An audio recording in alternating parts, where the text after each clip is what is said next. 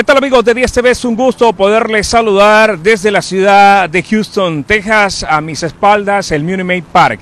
Escenario que el día de mañana a las 7 de la noche con 6 minutos hora centro de los Estados Unidos se pitará o se hará el play ball del primer juego de la Serie Mundial. La Serie Mundial que disputarán el equipo de los Astros de Houston y los Phillips de Filadelfia. Los Phillips de Filadelfia que buscarán ganar su tercera serie mundial. La ganaron en 1980 y en el 2008. El equipo de los Astros la ganó solamente en el 2017. Pero en este preciso momento es el equipo de la década. Sí, porque está llegando por seis postemporadas consecutivas a este tipo de instancias y sobre todo en esta serie mundial, ya esta es la cuarta vez, 2017, 2019, 2021 y en esta oportunidad 2022.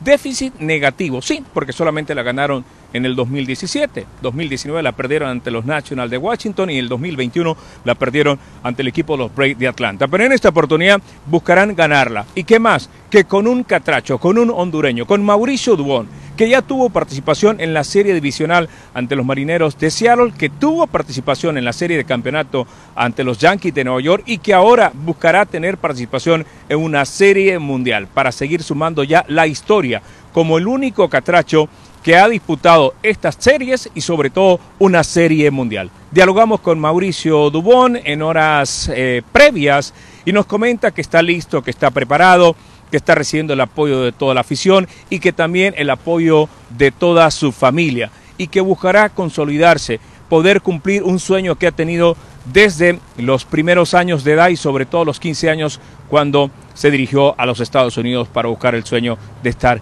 en las grandes ligas. Importante para los hondureños darle el apoyo, seguir a Mauricio Dubón porque es el primer y único hondureño que ha estado y que estará en una serie mundial. Será una serie para ganar cuatro partidos de siete. Ojalá que el equipo de los Astros lo pueda hacer para que Mauricio Dubón pueda ganar una serie mundial. Pero se enfrentan a un equipo complicado, a un equipo difícil, a un equipo que dejó fuera a los grandes favoritos, dejó fuera a los Dodgers, dejó fuera al equipo de los padres de San Diego. Así que será una serie mundial complicadísima y que esperamos, como Catracho, lo pueda ganar el equipo de los Astros de Houston para que Mauricio Dubón pueda tener un anillo de serie mundial.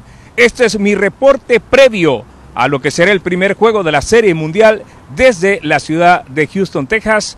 Yo soy Philip Clark. Regreso con ustedes a los estudios de 10 TV.